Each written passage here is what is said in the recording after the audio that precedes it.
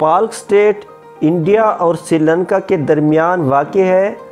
یہ سٹیٹ بے آف بنگال کو پالک بے سے کنیکٹ کرتی ہے۔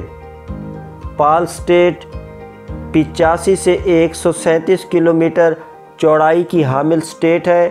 اس کی لینتھ تقریباً ایک سو چھتیس کلومیٹر ہے۔ اس سٹیٹ کی گہرائی ایک سو میٹر سے بھی کم ہے۔ یہ سٹیٹ انڈیا کی تامل ناڈو جبکہ سری لنکا کے جفنا ڈسٹرکٹ میں واقع ہے۔ اس سٹیٹ کا نام رابرٹ پال کے نام سے رکھا گیا تھا، جو کہ سترہ سو پچپن سے سترہ سو تریسٹھ تک کمپنی راج کے وقت مدراس کے گورنر تھے۔ اس میں بہت سے دریاؤں کا پانی شامل ہوتا رہتا ہے، جن میں ویگائی ریور، جو کہ تامل ناڈو میں بہتا ہے، ایک مشہور دریا ہے۔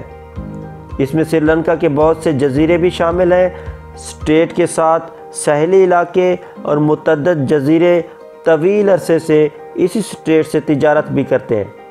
اس سٹیٹ میں چھوٹے چھوٹے شپس تجارت کی خاطر ٹریول کرتے رہتے ہیں۔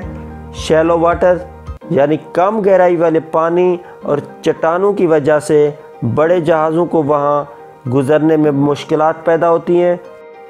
لیکن ماہی گیروں کی کشتیاں اور سہلی تجارت سے چلنے والی چھوٹی چھوٹی کشتیاں یہاں صدیوں سے چلتی آ رہی ہیں۔